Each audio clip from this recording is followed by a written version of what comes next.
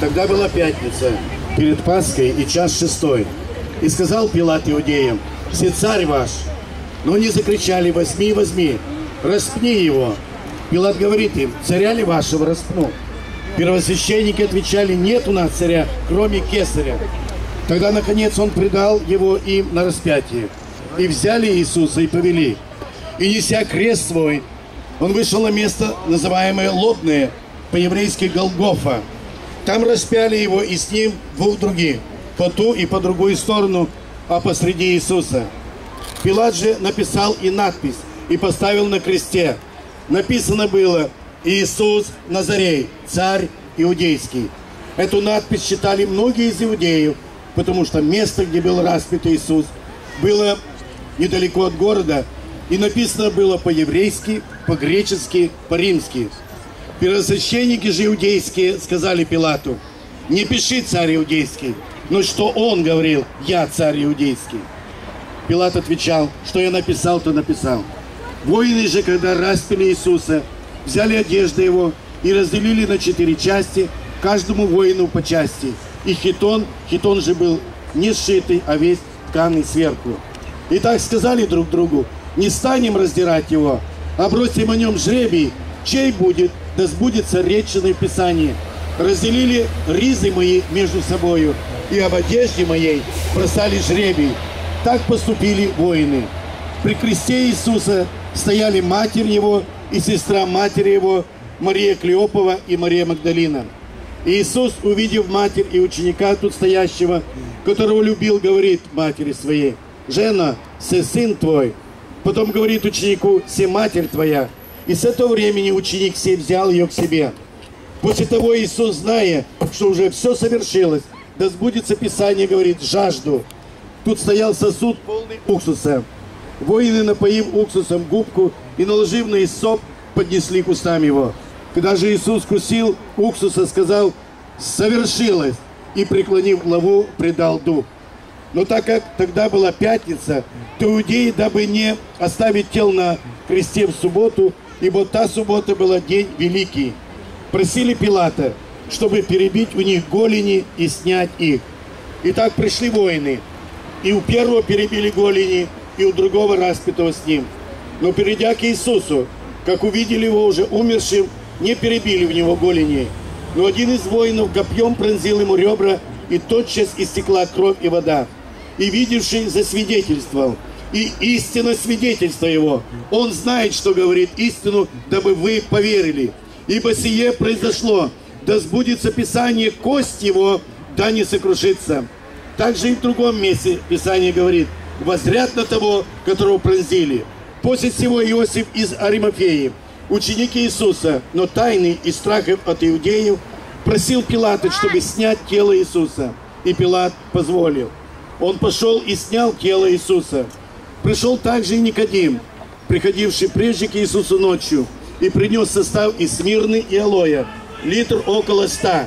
И так взяли тело Иисуса и оббили его пеленами с благовониями, как обыкновенно погребает иудеи. На том месте, где он распят был сад, и в саду гроб новый, который еще никто не был положен. Там положили Иисуса ради пятницы иудейской, потому что гроб был близко. Я читаю Библию. Это Евангелие. Евангелие на всех языках. Оно звучит одинаково. Для всех народов, для всех поколений. И это Слово Божье, неизменное. Много чего меняется в жизни. Меняются взгляды, меняется политика, меняются вкусы и направления. Но Библия не меняется. Бог неизменный. Его Слово неизменно. Что Библия говорит о настоящем времени?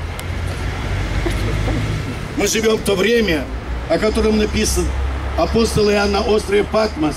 Мы читаем книгу «Апокалипсис», Откровение Иоанна Богослова.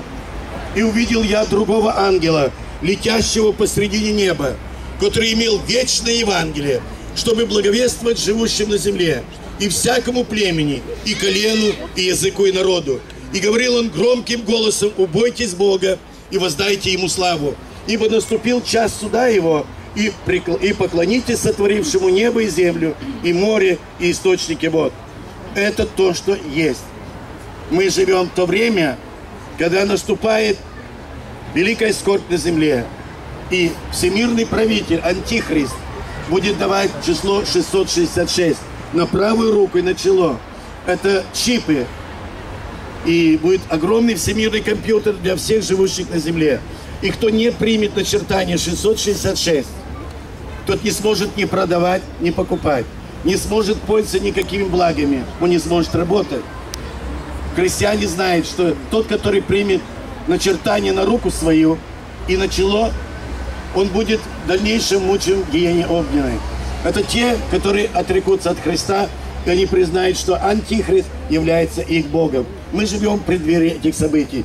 И этот ангел, который видел Иоанн, летящего посредине неба, он имел вечное Евангелие, то, что я сейчас держу в руках. Вечное Евангелие. Он посредине неба, или другой перевод, в зените, прямо над головами. То есть э, самая апогея человечества перед наступлением великой скорби. Именно по центру неба, в зените, летит ангел сейчас и говорит, убойтесь Бога и воздайте Ему славу, ибо наступил час суда. Еще суд не начался, но отделяет буквально считанные часы, может быть, дни. Я сегодня проповедую об Иисусе Христе, который, будучи Сыном Божьим, Он отдал свою жизнь за грех всего рода человеческого, и моего, и твоего, уважаемые слушатели, чтобы всякий верующий в Него не погиб, но имел жизнь вечную. Бог мне послал Сына Своего в этот мир судить мир, но Он послал спасти этот мир. И всякий верующий в Сына Божия имеет право на жизнь вечную. Он имеет жизнь вечную. Я читаю заключительную, последнюю страницу Библии. Это 22 глава Апокалипсиса и показал мне чистую реку воды жизни, светлую, как кристалл, исходящую от престола Бога и Агнца. Среди улиц его и по ту и по другую сторону реки древо жизни, 12 раз приносящие плоды, дающие на каждый месяц плод свой, и листья дерева для исцеления народов. И ничего уже не будет проклятого, но престол Бога и Агнца будет в нем, и рабы его будут служить ему, и узрят лицо его, и имя его будет на челах их и ночи не будет там, и не будет иметь нужды ни в свете, ни в светильнике, ни в свете солнечном, ибо Господь Бог освещает их и будут царствовать во веки веков. И сказал мне, сии слова верны и истины. И Господь Бог святых пророков послал ангела своего показать рабам своим то, чему надлежит быть вскоре. Все гряду скоро. Блажен соблюдающий слова пророчества книги сей. Я, Иоанн, видел и слышал сие. Когда же услышал и увидел, пал к ногам ангела, показывающего мне сие, чтобы поклониться ему. Но он сказал мне, смотри, не делай сего, ибо я сослужитель тебе и братьям твоим пророкам, и соблюдающим слова книги сей, Богу поклонись. И сказал мне, не запечатывай слов пророчества книги сей, ибо время близко. Неправедный пусть еще делает неправду, нечистый пусть еще сквернится, праведный да творит правду еще, и святой да освящается еще. Все гряду скоро, и возмездие мое со мною, чтобы воздать каждому по делам его. Я есть альфа и омега, начало и конец, первый и последний.